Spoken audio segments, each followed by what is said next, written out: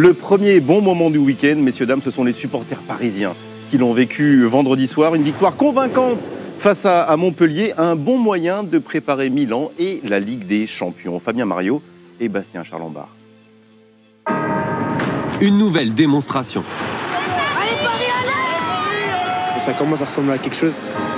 Avec des joueurs en pleine confiance. On est heureux avec cette victoire. Il faut continuer ainsi. Le turnover de Luis Enrique est payant. C'est ce que les fans veulent voir, et moi aussi. Paris est prêt pour la Ligue des Champions. Montpellier, proie idéale pour le PSG, avec un objectif clair, s'installer en tête de la Ligue 1.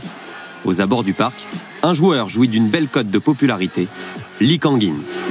C'est la rigueur, le respect et la discipline. Il est là le meilleur joueur. Il est gaucher lui aussi, c'est le Messi coréen. Milieu gauche, le Sud-Coréen est le parfait relais technique de Kylian Mbappé. Les deux joueurs s'échangeant 26 passes en à peine une heure de jeu. Doté d'une technique savoureuse, l'ailier arrivé de Majorque se montre une nouvelle fois décisif après son but contre Milan.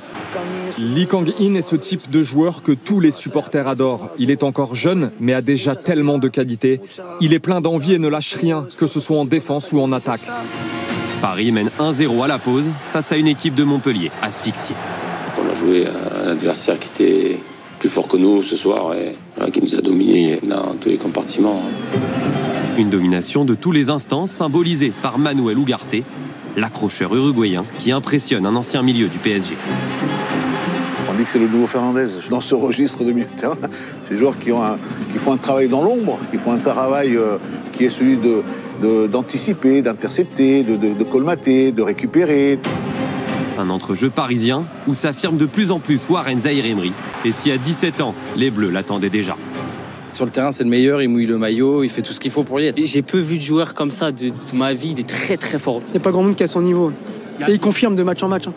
Comment est votre relation au milieu de terrain avec euh, Warren Zahir Emery et euh, Emmanuel Ugarte? Euh, Je suis assez fier de jouer avec les deux. Ce sont donc grands joueurs jeunes qui vont améliorer beaucoup dans le ZAN. La nouvelle coqueluche parisienne, acclamée par le parc à sa sortie, mais à Paris, titulaires comme remplaçants ne font désormais plus qu'un Vitinha s'ajoute lui aussi à la fête, 5 minutes après son entrée en jeu. Pour évoluer dans cette équipe, il est important que tout le monde défende. Nous avons besoin que chaque joueur soit impliqué pour former la meilleure équipe possible. C'est le seul moyen d'y arriver. Même en dehors du terrain, c'est un super groupe de joueurs. Tout le monde joue en équipe, que ce soit pour défendre ou attaquer.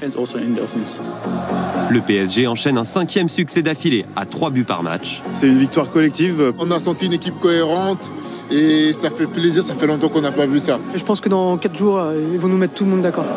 Milan est prévenu, leader de Ligue 1. Paris est lancé pour son déplacement à San Siro.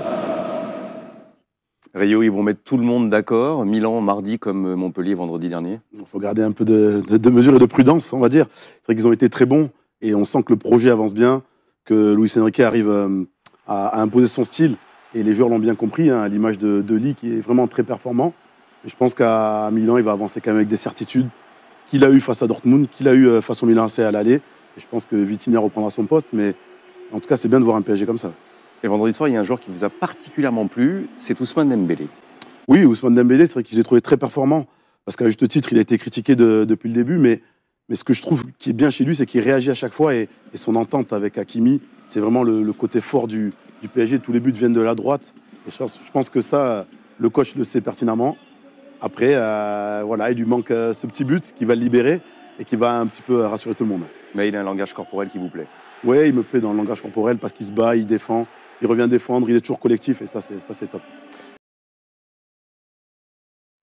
Le phaéton Kylian Mbappé revient sur la table. Salut à toi et bienvenue dans cette vidéo. Dans cette vidéo, on va parler de Kylian Mbappé. Partira, partira pas. Va-t-il quitter le PSG ou pas? Mais avant de commencer, si tu me découvres à travers cette vidéo, Ici, nous, on parle de foot. Ici, nous, on est passionné par le foot. Donc, si tu es intéressé par la thématique, si la thématique te parle, n'hésite pas à t'abonner, d'activer la cloche de notification pour ne rien manquer des prochaines vidéos. Si c'est fait, on est parti. Alors les amis, Kylian Mbappé est annoncé du côté du Real de Madrid. Mais il n'y a pas que le Real. Il y a également Liverpool et le PSG qui veut à tout prix le faire prolonger. Déjà, Liverpool, moi, je n'y crois pas trop. Je n'y crois pas trop parce que Liverpool, ce n'est pas vraiment un club, à mon avis, qui fait trop rêver.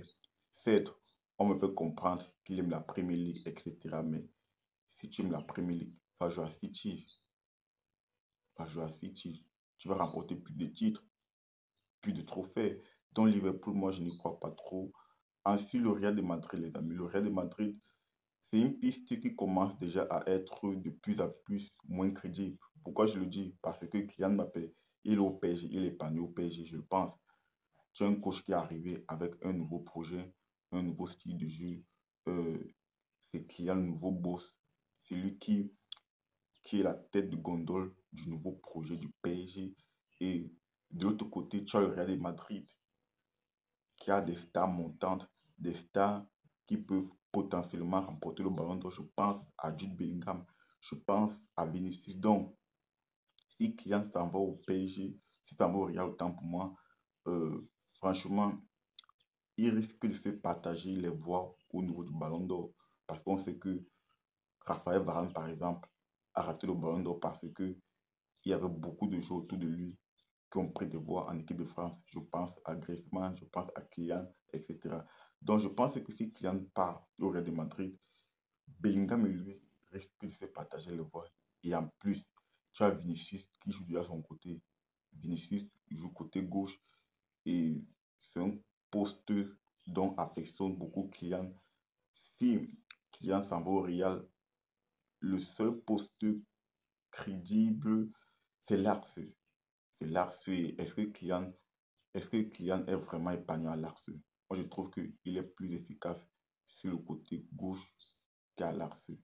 Donc, euh, pour moi, c'est très compliqué de voir Kylian aller au de Madrid pour l'instant parce que ce PSG-là un projet cohérent. Lucien Enrique est en train de mettre des choses en place. Kylian Mbappé se sent épanoui.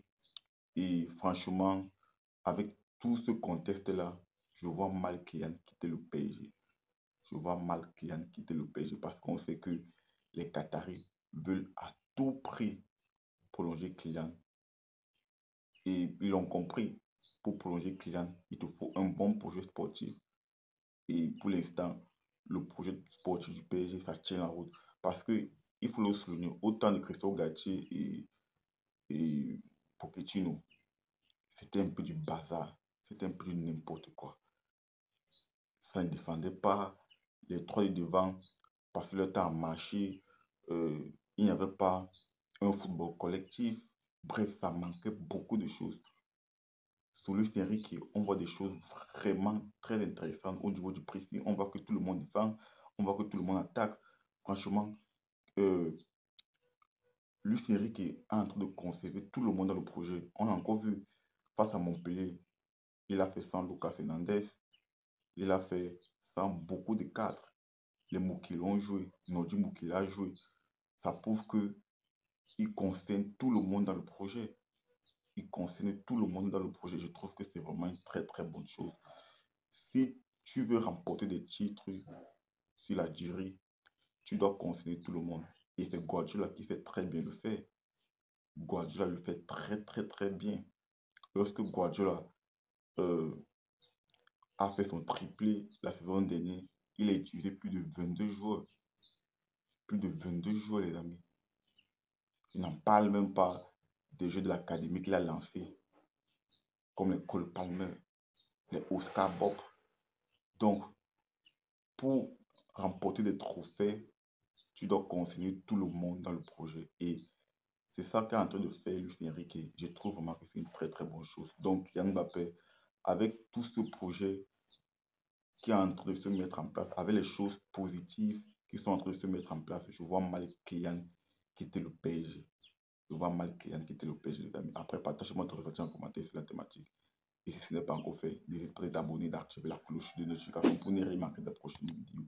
Ce sont, dit à très bientôt pour notre vidéo, les amis. Ciao, ciao